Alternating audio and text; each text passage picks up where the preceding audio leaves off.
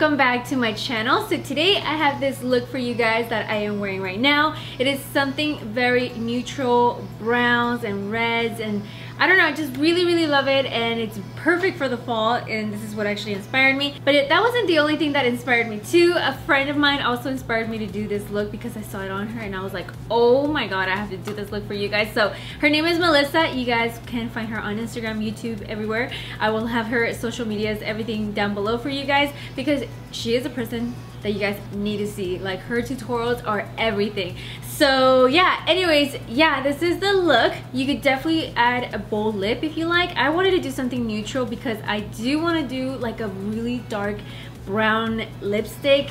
I don't know, let me know if you guys do want to see a tutorial with that color lipstick. But anyways, if you guys would like to know how to recreate this simple makeup look, then just keep on watching.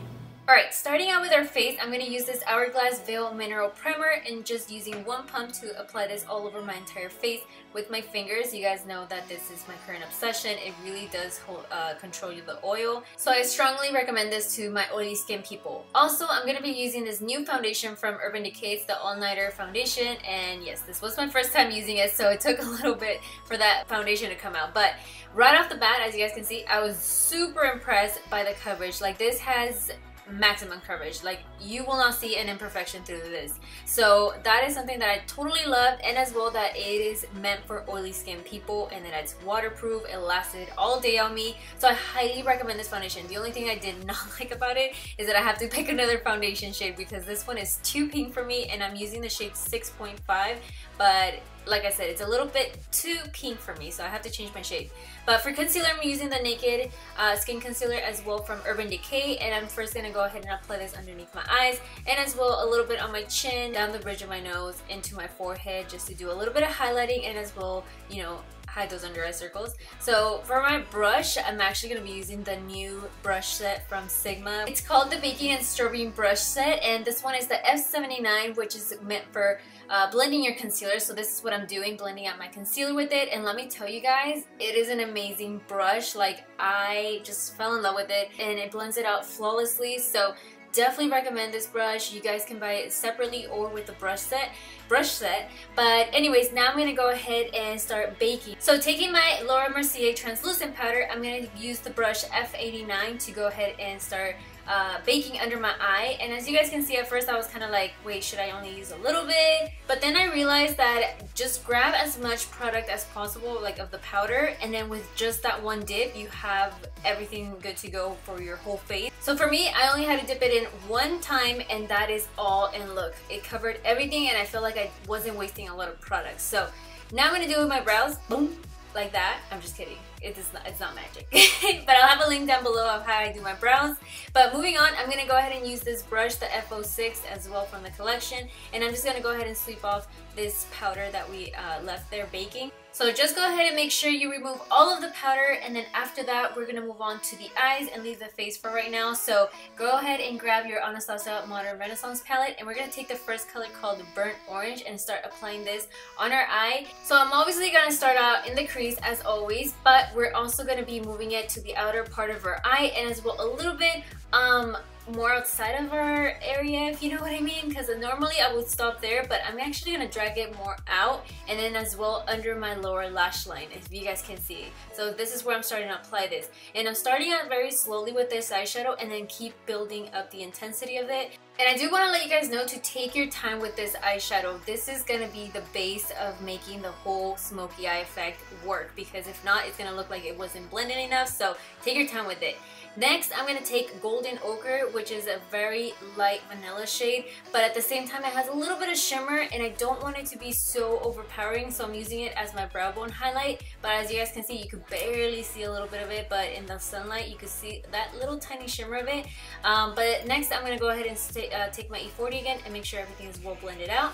Then after that, I'm going to take red ochre with an E25 and start placing this only on the outer part of my eye and then working it slowly into my crease.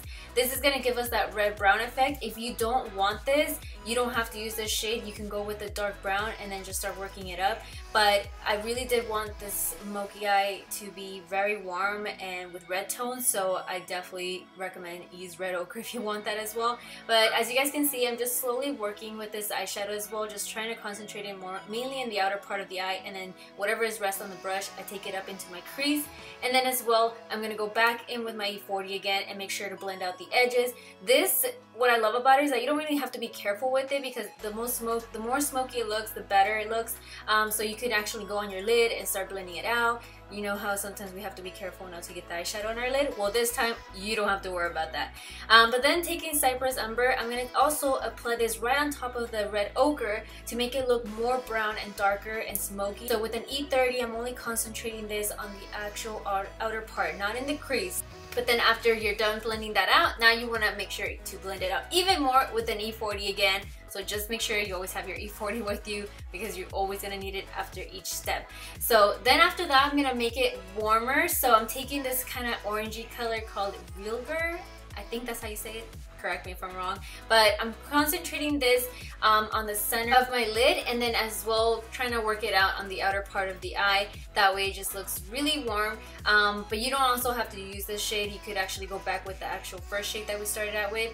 Um, but yeah so then after you're done with that next we're gonna go ahead and take the color that I'm obsessed with which is Primavera which is this like champagne gold color. I don't know it's so beautiful. But anyways instead of just applying it on the inner part of our eye we're actually gonna take it a little bit farther than that. So we're gonna actually make it seem as if it's blending into our matte shades. So just take it in and then as well take it all the way up into your crease. It actually looks so cool. So yeah after you're done applying that eyeshadow pretty much we're done with the top lid. And now we have to just concentrate the same exact steps on our lower lash line. So again with another E30 I'm gonna go ahead and repeat the same steps. I'm first starting out with the you know, the first warm brown and then as well going into the red one and then the dark brown and then the orange one. So just repeating the same steps over and over again um, on your lower lash line until it's very smoked out. And then after that, we can move on to our lashes.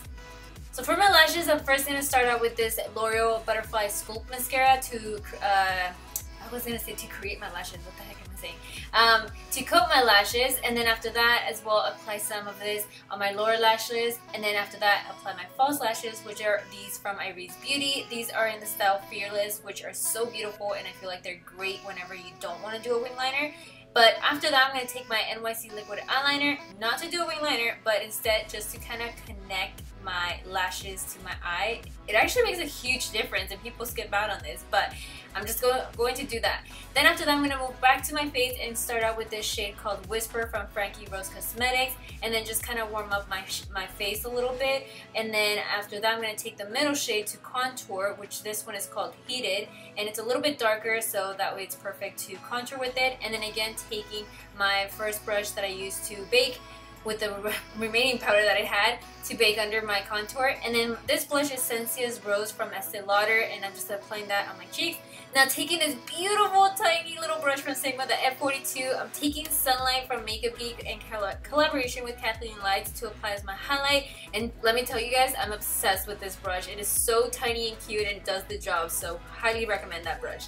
Um, now I'm uh, sweeping off the powder that we applied underneath our contour and moving on to our lips. So first starting out with this 1993 lip liner from Urban Decay to line my lips. And then after that, I'm going to go ahead and take my lipstick, which is from MAC and it's called uh, Velvet Teddy. I've heard so many people rave about this lipstick, so I finally decided to pick it up, and actually I really love it. But now I'm going to top it off with this Sugar Gloss from Frankie Rose Cosmetics, and that is all. So I hope that you guys enjoyed the video. If you did, don't forget to give it a huge thumbs up, and also let me know in the comment section what other fall makeup looks you guys would like to see from me. And with that, my loves, thank you guys so much for watching. As always, I love you guys, and I will see you guys all in the next video. Bye! Mwah!